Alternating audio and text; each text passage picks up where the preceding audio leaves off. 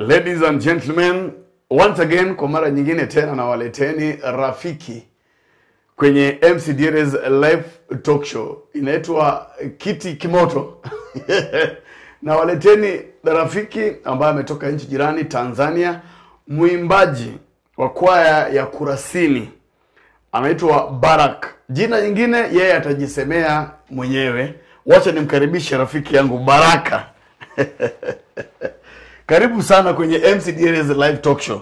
Asante sana ndugu yangu MC. Ndugu yangu, mm, tunataka kupiga story kidogo. Tuko Yes. na ajenda mbili tu. Yeah.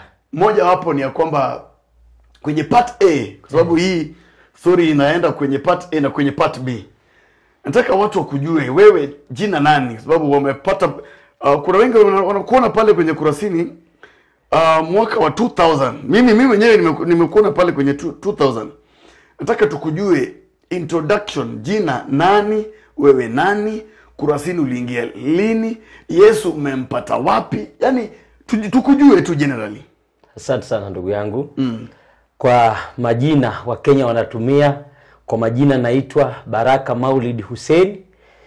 Uh, ni mzaliwa wa mkoa wa Bariadi Shinyanga huko, sasa hivi imekuwa mkoa. Nimezaliwa hapo, nimekulia kulia hapo, nikaenda Mwanza Butimba. Butimba mazoezi, nimesoma primary hapo. Mm. Nikafaulu nikaenda Tabora Boys. Ndio. nikahamishiwa kwenda Tabora Boys nikisoma huko nikiwa tumefunga shule na kwenda nyumbani, Ndio. ndipo nikiwa stendi ya basi na ngoja basi na begi langu mgongoni Mm. nilipata kusikiliza nyimbo za kwaya Kurasini zikiimbwa dukani. Ukitoka shuleni? Natoka shule mm. secondary school Ndio. naelekea nyumbani Bariadi na ngoja basi stendi nikapata kusikiliza nyimbo za Kurasini ziki, zikiimbwa duka fulani ilikuwa linauza CD pale mm.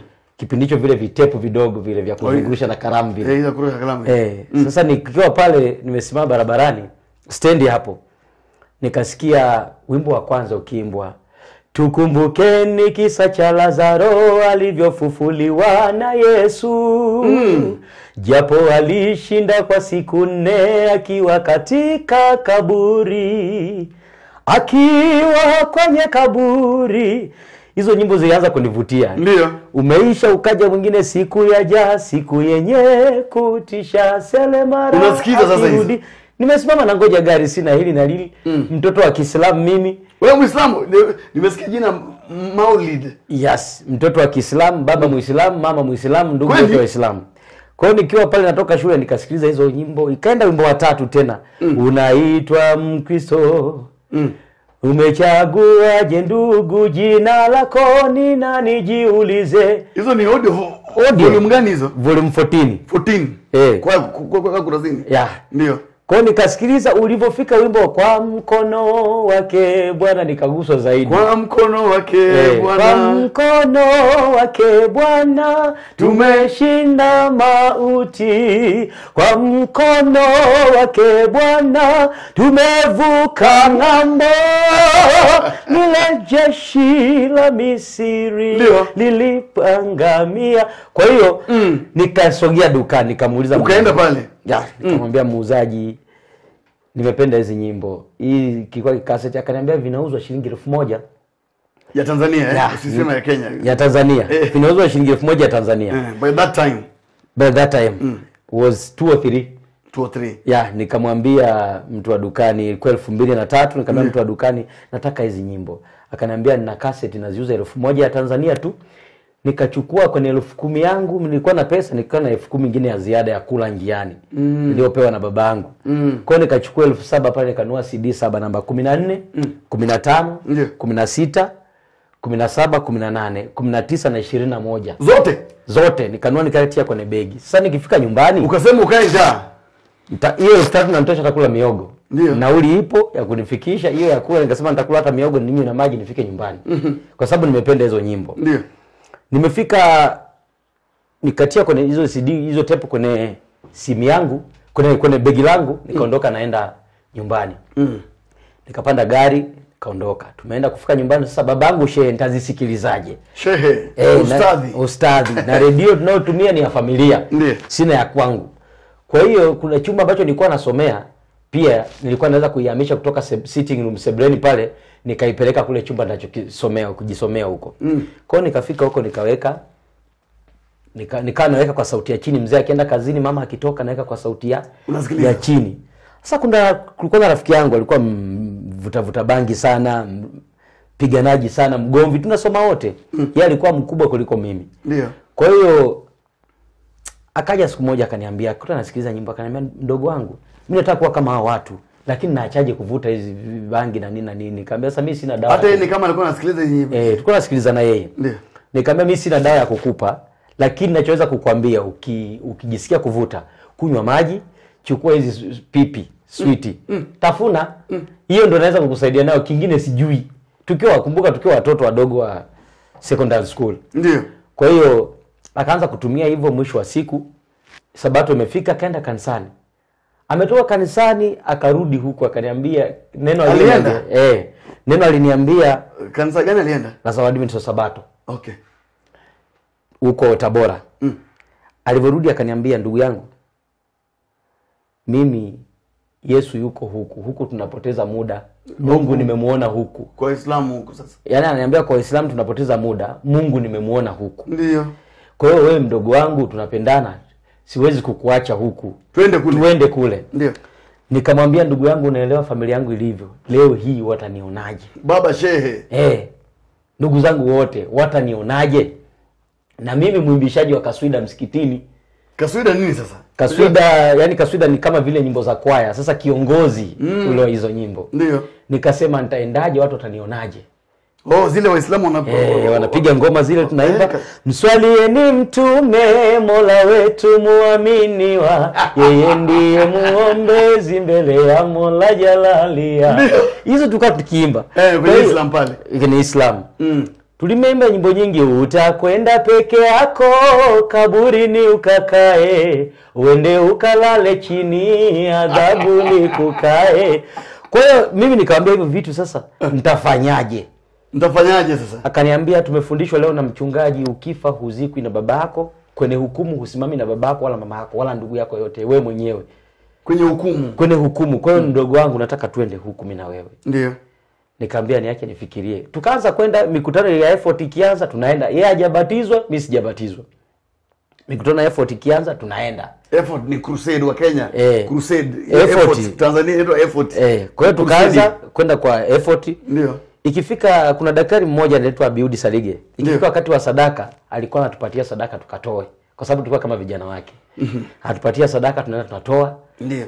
Hivyo kwaya zikiimba tuna machi hatujui kumaji lakini tunaachi tukienda humo ndani. Sasa hapo mmeenda kanisa gani exactly? Ilikuwa kanisa fulani inaitwa tutuo. Tutuo. Tutuo sda tukaa tunaenda huko. Ndio. Kwa hiyo tumekaakaa basi ikatukapangiwa ubatizo. Imefika ubatizo mimi mzazi wangu wakamwambia kamsikitini kwamba huyu mwanao siku hizi amekuwa mlokole kwa sababu wao wanaita makanisa yote ni wakolokole mm. amekuwa mlokole tukimwita kaswida hataki mi wakati huo tena roho ya kuimba kaswida imeisha ndio nikawa nakaa tu nyumbani nini wakiniambia kaswida naambia mi nasoma najiandaa na mitihani ndio lakini mwisho wa siku mzee akaja akanitegea siku ya Ijumaa, kalala mjini alipokuwa amenipangia nyumba kwa ajili ya masomo mm. kalala sehemu nyingine tu. Nikitoka na basikeli yangu naenda kanisani, kanifata nyuma.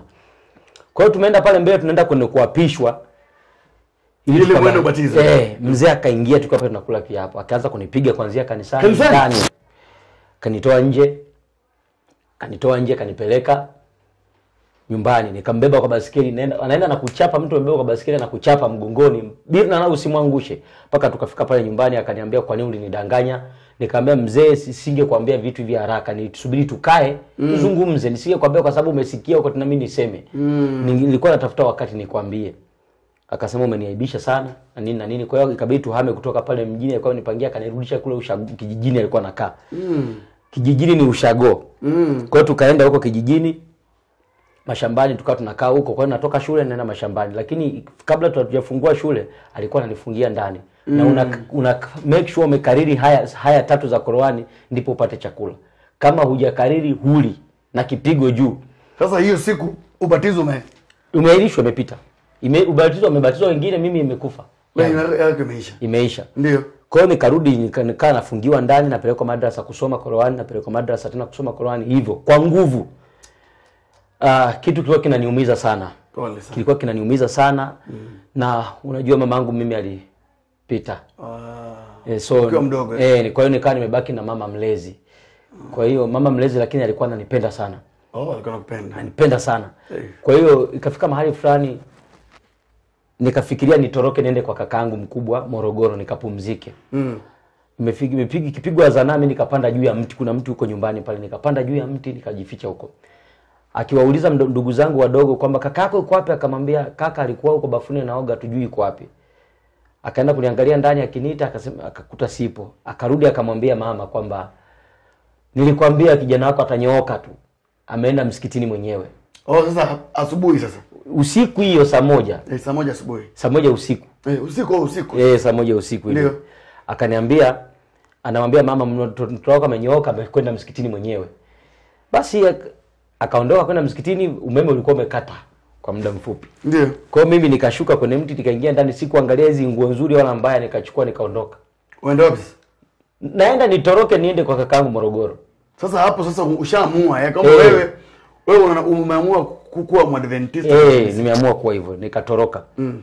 Katoroka nikaenda natembea kwa polini, poli na poli na poli na poli. Usiku. usiku. Sasa unajua Wasukuma kule Tanzania wana kawaida kwamba wanahama na ng'ombe, wanaenda majani yakisha mahali fulani, wanahama na ng'ombe, wanahamia porini ambapo kunaweza kupata majani ng'ombe wakala. Ndio. Sasa nikaona moto, nikasema kitakachokuwa kama ni majambazi wataniua ni nini, mi naenda tu hapo, nimeshachoka kutembea na ni usiku sana. Pole sana. Nikaenda hapo nikafika, wakanikaribisha, nikawaelezea kwanza, wakanipa ugali. Unajua kule wanakupa ugali na maziwa, maziwa mabichi ya ng'ombe yale mm.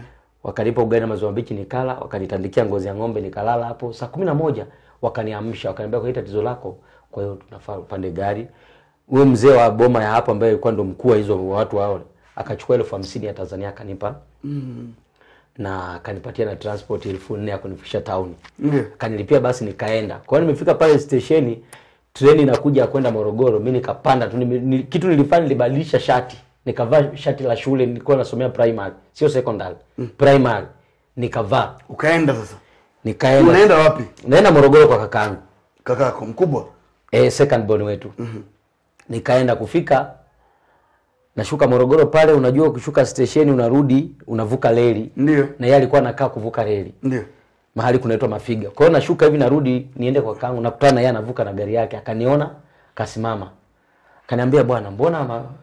bila taarifa? Nikaambia "Ah, usijali, tutazungumza. Mm. Akanichukua kwenye gari, akanipeleka nyumbani, akaondoka, akaenda kazini. Oh, kaenda pale nyumbani. Nikaenda nyumbani. Mm. Kufika kule, yuko kazini, mzee kampigia simu, ndo ndugu yako kafika kule huko kwako, akamwambia nimemtoa kumpeleka nyumbani, sasa ndo nimeingia ofisini. Akamwambia ndugu yako amebadilisha dini, hata ukimuona nimempiga sana, lakini ameamua kutoroka. Huyu naye akapandisha, akarudi nyumbani, akaniuliza Baraka, umefanyaje? Nikamwambia nimebadilisha dini na baba kanipiga, nikamwonyesha makovu mguuni. Nguni eh? Haya makovu haya, nayaona haya, Kamera hebu chukua hii tuone. haya makovu nayaona haya Baba ukapigwa hizi. hivi kipigo hiko, nikamwonyesha wakati huo bado hata haja meusi hivi, alikuwa bado mekundu. pole pole sana. Nikamwambia Ndio. haya ndo mzee kanifanya hivi, kwa hiyo nimeamua kutoroka nije kwako, at least nipumzike. Mm. Akaniambia baba amekupiga kidogo, mi ndio nitakukanyaga sawa sawa. Huyo kakako. mm. Ndio. Kama mi ndio nitakukanyaga sawa sawa, kwa sababu wewe unajua kabisa mzee yukoje mm. na anafanya nini Ndio. na unajua kabisa yeye ni shehe na nini na nini mm. unafanyaje unabadilishaje dini mi nitakukanyaga sawa sawa mm. kwa hiyo shemeji yangu mke wa kakaangu akasikia uchungu uh. akamwambia swita tuwezi kusafiri ukiwa hivi na majasho hivi nenda bafuni kaoge niingie chumbani kutayarishie nguo ambazo utaenda nazo Mm. Akatoka kule ndani na shilingi laki mbili ya kitanzania elfu mia mbili za kitanzania. Mm. kanipa mkononi akaniambia nenda. Ondoka. na akachukua shilingi zingine themanini akanipa. Ya kitanzania kwamba utatumia nauli na ya kusaidia njiani. Na namba ya simu kaniandikia kaniambia toroka nenda. Utakuwa nasiana na mimi. Kwao nikatoroka kutoka pale nikaondoka. Ukaenda. nikaenda stendi ya basi ya msamvu. Unaenda wapi naenda dar es salaam na sisijawahi kukanyaga dar es salaam tangia dunia iumbwe. Hujawahi. sikuwa nimewahi Sasa hapo ndio unapatana na kwaya ya Kurasini ama kanisa nikaenda mimi nikafika nikauliza tu nikiwa pale nimetoka fika pale stendi ya basi ubungo Mm. terminal Ubungo terminal, nikauliza nikitoka nje nikauliza, nikasema hapa nikiuliza vijana wanaweza kuwa wakora wakaniibia. Ndio. Niulize mama, nikauliza mama mtu mzima akaniambia, alikuwa sema mimi nasubiri gari naenda huko kwetu ni kuelekeza kanisa la Wasabato. Kwa hiyo hapo kanisa la Wasabato tumepita kanisa la Manzese, tumepita kanisa la uh, Tandale la Mbiu, Ndio. tumevuka kanisa la Kinondoni, tumevuka ambao makanisa yako maeneo ya karibu pale yanaweza kujulikana ya nani, tumevuka makanisa yote, tumeenda Kariakoo, tukavuka Mzizima. Kufika pale kuna mzee alikuwa anafahamika eh, baba yake Joy, mzee Idafa. Joy, Joy mmoja huyo. Joy mmoja mwimbaji wa Kurasini. Mwimbaji wa New King Biblos. Ndio. Huyu Joy babake yake alikuwa Mzee Idafa. mzee Idafa. Sasa watu walikuwa wanamfahamu kama ni mwadventista msabato. Ndio. Wakafika akamwambia bwana, huyu kijana ni msabato. Mzee akaingiwa hofu. By the way, huwezi kumlaumu, aliingiwa hofu kwamba huenda ni mkora huyu kijana. Eh. e, anatafuta hifadhi. Akasema "Ah, hapana. Kwa hiyo baada ya hapo ikabidi watu wakanipakia kwenye gari. mm. Kunipakia kwenye gari nikaenda nikashushwa nikashushwa chuo cha uhasibu Ndio. nilivyoshushwa chuo cha uhasibu nikaambiwa sasa unaona hapa kuanzia hapo ukitafuta kanisa la wasabato utapata Utapata kanisa. eh nikaenda naonyeshwa kanisa lingine la watu wa anglikana. Mm. nilivyorudi nikarudi pale nikakaa pale njia panda pale nikaa nimekaa. Jua naenda saa kumi na moja akatokea dada mmoja amevaa kanguo fulani hivi topu tumbo iko nje amevaa shoti ingine fupi. Msichana. Msichana nikamuuliza dada samahani naomba kujua kanisa la wasabato. Akaniambia kanisa la wasabato nasali jumamosi. Yaani wewe ulikuwa unataka tu umetoka kule una- unakuja Dar es Salaam unataka kanisa lolote Wewe uende tu. sikutaja kurasini wala wapi nitaka kanisa lolote lile. Ndio. Yule dada akanisaidia akanichukulia begi langu akaweka begani tukaondoka. Aliponipeleka ni kanisa la waadventista wa sabato kurasini. Kurasini. kurasini. Nilifika Dar. hapo dar es salaam nikafika hapo nikakuta kurasini kwaya wakiwa mazoezini na marehemu mwalimu samson kibaso wakiwa mazoezini. Kufika hapo dada akaenda akaomba excuse. Akamuomba mwalimu kwamba kuna mgeni. Mnafaa- kibaso akamtuma kambesi mama pendo george. Kambesi huyu huyu tena huyu. Zefania huyu akamtuma Zefania, akamtuma Pendo Joji, akamtuma na Nuru Sebastian ambaye ni mzee wa kanisa mwaka huu. Ndio. Wakaja kuniuliza pale nilivyozungumza, wao wakaona "Mm, hiki ni kigumu, wakaenda kumuita mwalimu Kibaso. Kibaso Kibaso mwenyewe. eh, akaja akanisikiliza. Alivyonisikiliza kidogo, akatokea mzee Dafa Ule mzee ambaye alikwambia kama amekuja pale kanisa. unakaa mkora mkora. Ehe. Kwa akaja pale akatukasalimiana tena mara nyingine, akatokea mzee mwingine anaitwa mzee John Boneka. Ndio. John Boneka ndo akaja akazungumza na mimi pale, akaniuliza tu namfahamu mtu fulani anaitwa Daido, nikaenda bila nikamwambia namfahamu, ni daktari kule. Akasema sasa yule na mimi tunatoka mkoa mmoja, kijiji kimoja, tuna nyumba zetu zinatazamana. Kwa hiyo akaniambia kwa sababu tunashughulikia swala lako, akachukua pesa akanipa. Sasa ukaanza uka, uka, uka, kaka hapo sasa huko kwenye Nikaanza kuishi sasa na mzee Kibasa akwambia vipi? Nikaanza kuishi na mzee Boneka. Kwa hiyo baada hapo Kibaso akaja aka nilipofika nikabatizwa. Nakumbuka batizo. eh, nilibatizwa tarehe 7. Wazazi wako hawajui uko wapi. hawajui liko wapi. Nilibatizwa tarehe saba, ilikuwa mwezi wa saba Mwaka gani? mwaka huo wa elfu mbili na tatu Pale pale pale pale Kurasini. Kurasini kanisa. Ehe, Kwa hiyo eh, ilikuwa elfu mbili na nne nibatizwa pale. Kwa hiyo nikirudi, wakati tumerudi kanisani, sasa si watu wao wanaitwa watakao walea hawa wabatizwa. Kibaso akaja akasimama nyuma yangu, mwalimu mwalimu Kibaso. Samson Kibaso. Yes, akaja akaja akasimama nyuma yangu. Ndio. akaniambia hivi wakati tunape, anasema nipe namba yake ya simu sikuwa na simu akaniambia hivi ili nikulee vizuri mwanangu ingia kwaya uimbe nikaambia mimi sijawahi kuimba ni hapo nikamwita mwalimu sijawahi kuimba ntaimbaje kwaya akaniambia hakuna aliyezaliwa anajua kuimba imba ili niwe na kupata kiurahisi mm. yuko pale. ehe akanipa namba ya simu nikamwambia sawa lakini Ukiingia hapo kwa kwaya ulipata wanaimba hivyo gani? niliingia kwa kwaya hapo So, lazima alikuja kunichukua siku ya Sunday Jumapili, tukaenda kanisani mazoezini. Nikifika niliku, ndo siku hiyo akafundisha wimbo wa mambo magumu yamekuzunguka, giza nene limetanda moyoni, kuna nuru ndogo inapenyeza, nuru hiyo itakupa faraja, nuru ndogo toka kwa Yesu italeta faraja kwako uinue uso kwa Yesu, sirudi nyuma, tulia kwa Bwana. Yani huo wimbo- akafundisha wimbo Nyagendia. Eh. Lakini hauko kwa Kiswahili. hauko kwa Kiswahili Lakini Ali- ali- alifanya arrangement. Ndio.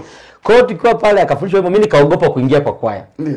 nikakaa nje. Alifundisha nyimbo mbili, fundisha huo na akafundisha umemgusa Bwana.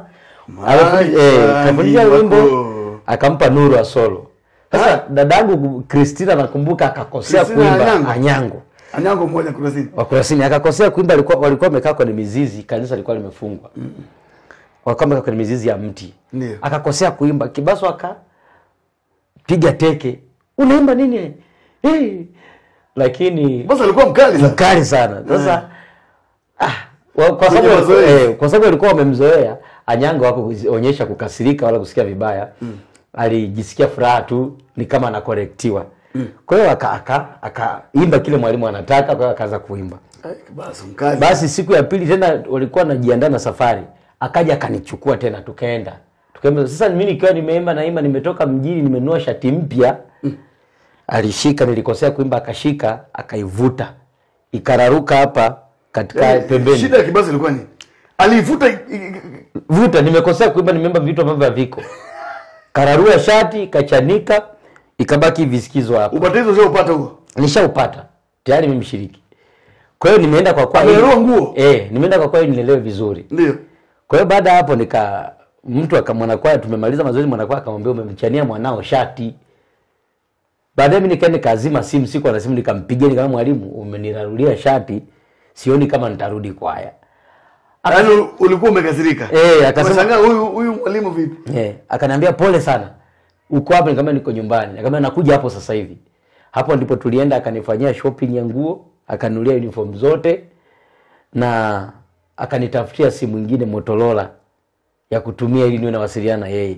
Yaani kwenye kwaya kwenye zoezi ni mkali. Mkali, Kule nje anakuwa mtu mkarimu. mtu mzuri sana, akaninulia uniform zote na akaniambia huna uniform, utafaa kuwa na uniform, na akaniombea usajili katikati ya mwaka, kabla mwaka hujaisha, akasema naomba huyu mtu asajiliwe Kwenye kwaya? kwenye kwaya. Wazee wa kanisa wakaniruhusu kuwa mwimbaji wa kwaya kabla ya mwaka kuisha. Ngumu sana hilo. Ni ngumu, na kipindi hicho Kurasini ilikuwa na sheria ngumu. Mwenyekiti alikuwa mwenyekiti alikuwa Joseph Wola ambaye ni mwalimu sasa hivi na walinipokea kwa kweli. Nashukuru Joseph Vola alikuwa mwenyekiti, alikuwa mtu mzuri. Kipindi hicho Joseph Vola, likitokea shida kwenye kwaya, umepeleka umbea kwenye kwaya, Joseph Vola Vola mmoja ambaye anaimba ule alisolo safari ya mbinguni. safari ya mbinguni. Huyo Vola huyu huyo alikuwa mwenyekiti wa Mimi kwaya sijawahi dhani Vola amekuwa mwenyekiti. amewahi kuwa mwenyekiti tena mwenyekiti mzuri sana kiongozi mzuri sana aka ulikuwa ukimpelekea umbea hawezi kwenda kulipuka anakuita wewe uliyepeleka umbea Ola. na huyo uliyemtaja na kamati ya kwaya mnakaa chini bwana ulikuja ukaniambia huyu mtu kafanya hivi tuambie hapa Ola sasa. ola alikuwa hivyo mm. kwa hiyo umbea ulikuwa kwenye kwaya hakuna upendo ulikuwa unatawala Ndio. nilifurahia kwa mmoja wa waimbaji wa Kurasini pale uh, ukaanza nilikuwa very proud kwa mmoja wa kwaya Kurasini na nilikuwa nafundishwa kuimba kwa upendo sana na Edwin Webiro. Kuna video moja mmetoa pale mna machi hivi unakanyaga huku, Eh. unakanyaga unaruka hivi. Eh. Ule mboga ule ule?